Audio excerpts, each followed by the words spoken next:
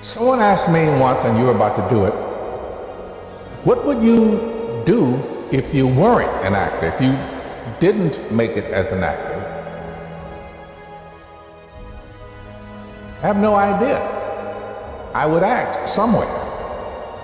Maybe I'd be driving a cab, maybe I'm working somebody's yard, whatever I'm doing, I will act.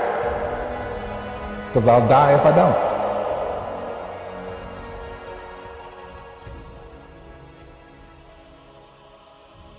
You do it because you have to do it. If, if you spend 20 years waiting tables, at night, if you were a writer, you're writing.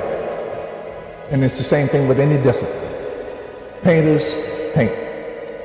I don't care what else they have to do to put food on their table or pay the rent, they're painting.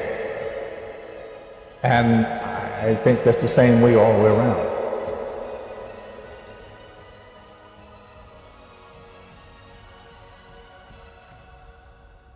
Writers write, painters paint, actors act.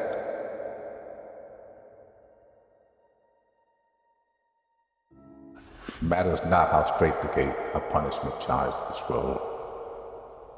I am the master of my fate.